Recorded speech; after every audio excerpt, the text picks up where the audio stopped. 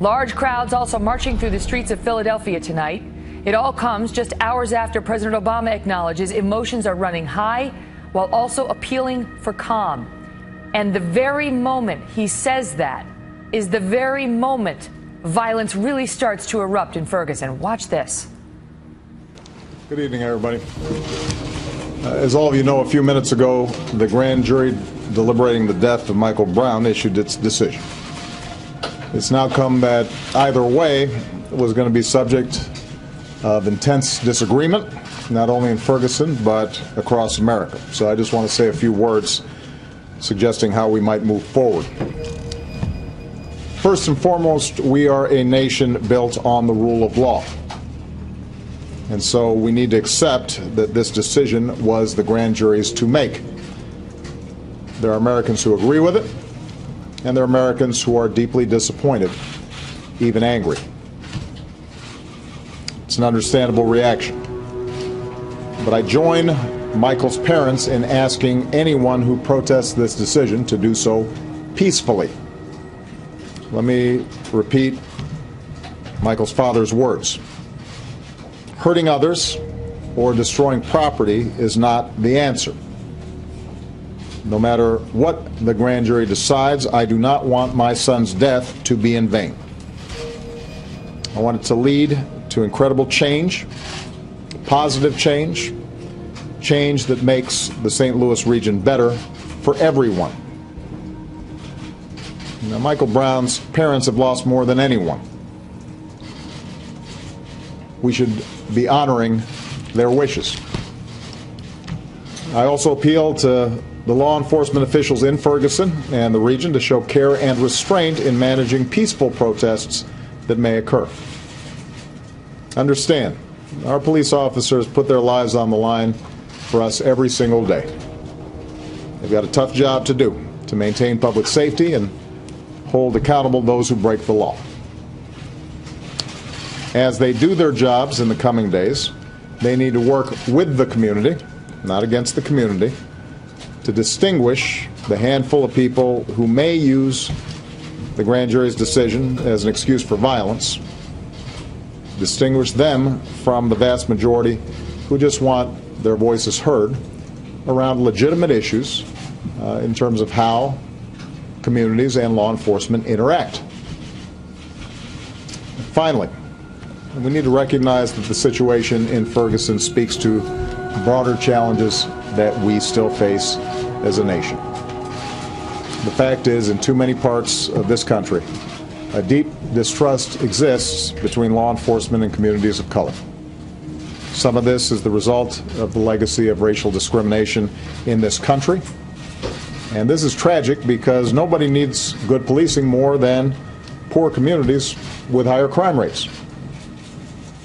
The good news is we know there are things we can do to help. And I've instructed Attorney General Holder to work with cities across the country to help build better relations between communities and law enforcement.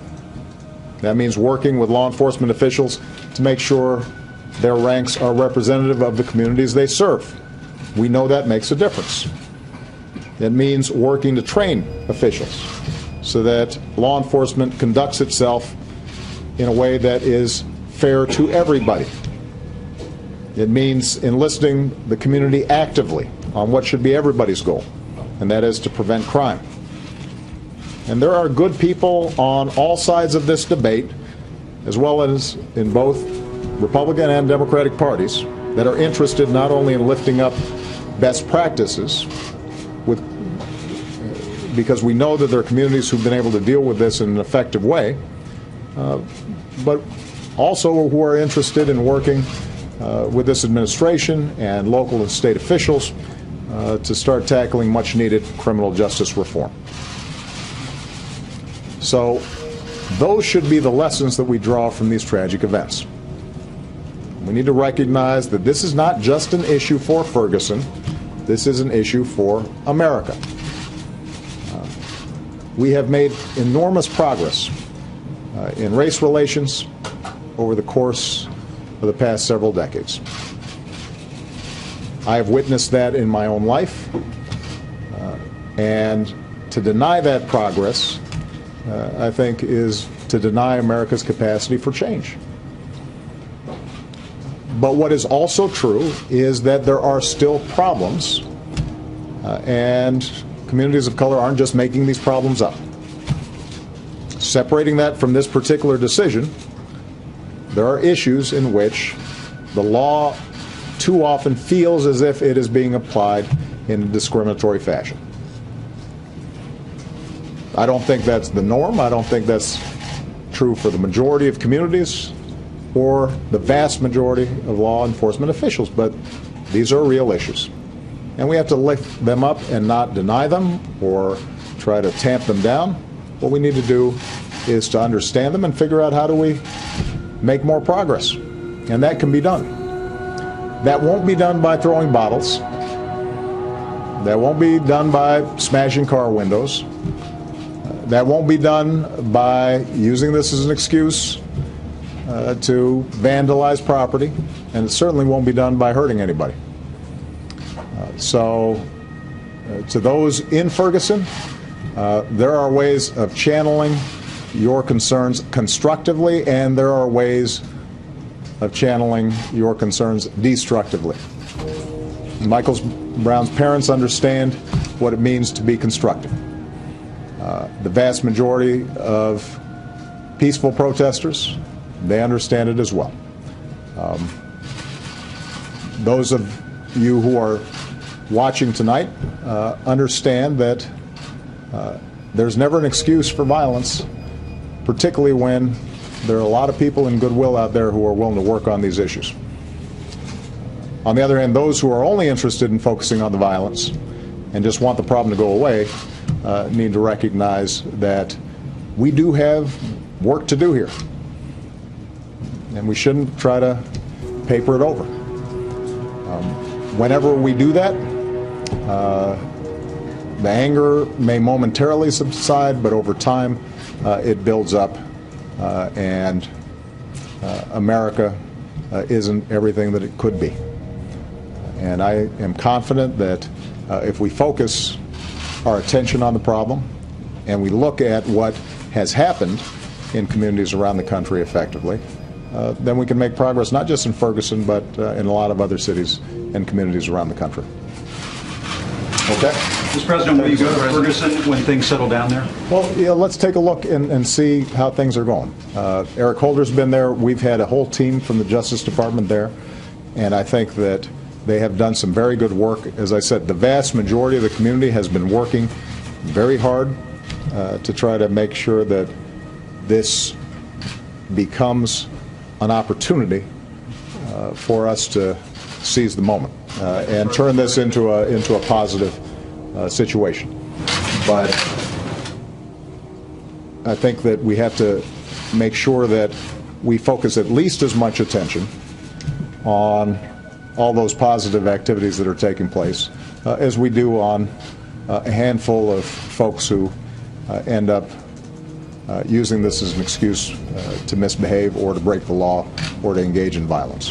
Uh, I, I think that it's it's going to be very important, and I think the media is going to have a responsibility as well uh, to make sure that uh, we focus on Michael Brown's parents and the clergy and the community leaders uh, and the civil rights leaders and the activists and law enforcement officials who have been working very hard try to find better solutions, uh, long-term solutions to this issue. Uh, there is inevitably going to be some negative reaction, and it'll make for good TV. Uh,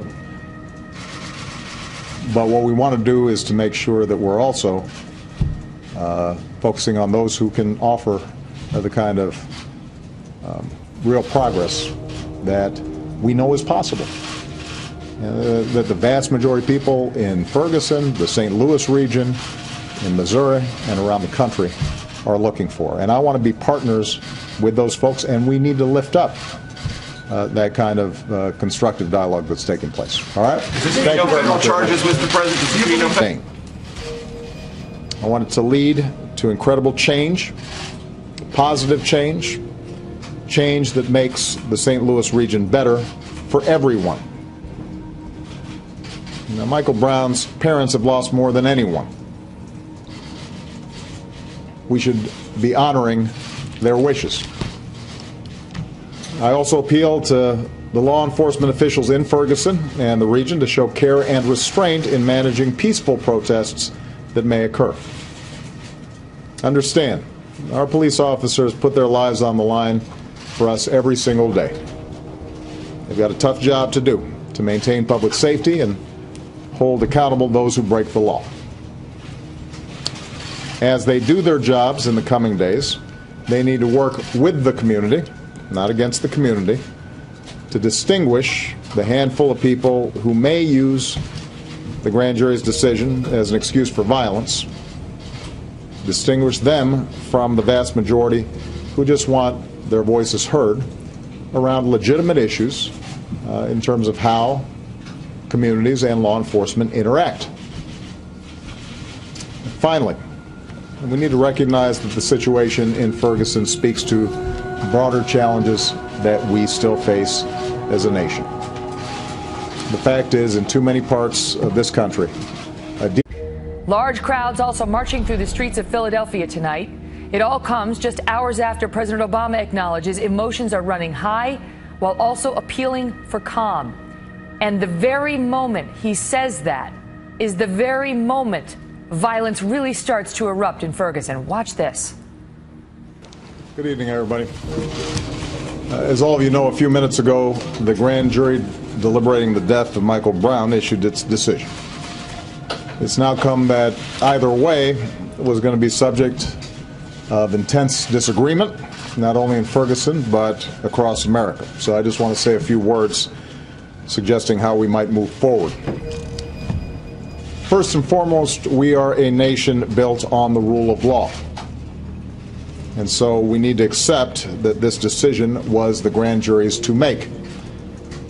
There are Americans who agree with it, and there are Americans who are deeply disappointed, even angry. It's an understandable reaction. But I join Michael's parents in asking anyone who protests this decision to do so peacefully. Let me repeat Michael's father's words. Hurting others or destroying property is not the answer. No matter what the grand jury decides, I do not want my son's death to be in. So, those should be the lessons that we draw from these tragic events. We need to recognize that this is not just an issue for Ferguson, this is an issue for America. Uh, we have made enormous progress uh, in race relations over the course of the past several decades. I have witnessed that in my own life, uh, and to deny that progress, uh, I think, is to deny America's capacity for change. But what is also true is that there are still problems, uh, and communities of color aren't just making these problems up. Separating that from this particular decision, there are issues in which the law too often feels as if it is being applied in a discriminatory fashion. I don't think that's the norm. I don't think that's true for the majority of communities or the vast majority of law enforcement officials, but these are real issues. And we have to lift them up and not deny them or try to tamp them down. What we need to do is to understand them and figure out how do we make more progress. And that can be done. That won't be done by throwing bottles. That won't be done by smashing car windows. That won't be done by using this as an excuse uh, to vandalize property, and it certainly won't be done by hurting anybody. Uh, so, uh, to those in Ferguson, uh, there are ways of channeling your concerns constructively, and there are ways of channeling your concerns destructively. Michael Brown's parents understand what it means to be constructive. Uh, the vast majority of peaceful protesters they understand it as well. Um, those of you who are watching tonight uh, understand that uh, there's never an excuse for violence, particularly when there are a lot of people in goodwill out there who are willing to work on these issues. On the other hand, those who are only interested in focusing on the violence and just want the problem to go away uh, need to recognize that we do have work to do here. And we shouldn't try to paper it over. Um, whenever we do that, uh, the anger may momentarily subside, but over time uh, it builds up, uh, and uh, America uh, isn't everything that it could be. And I am confident that uh, if we focus our attention on the problem, deep distrust exists between law enforcement and communities of color. Some of this is the result of the legacy of racial discrimination in this country. And this is tragic because nobody needs good policing more than poor communities with higher crime rates. The good news is we know there are things we can do to help. And I've instructed Attorney General Holder to work with cities across the country to help build better relations between communities and law enforcement. That means working with law enforcement officials to make sure their ranks are representative of the communities they serve. We know that makes a difference. It means working to train officials so that law enforcement conducts itself in a way that is fair to everybody. It means enlisting the community actively on what should be everybody's goal, and that is to prevent crime. And there are good people on all sides of this debate, as well as in both Republican and Democratic parties, that are interested not only in lifting up best practices with because we know that there are communities who've been able to deal with this in an effective way, uh, but also who are interested in working uh, with this administration and local and state officials uh, to start tackling much needed criminal justice reform.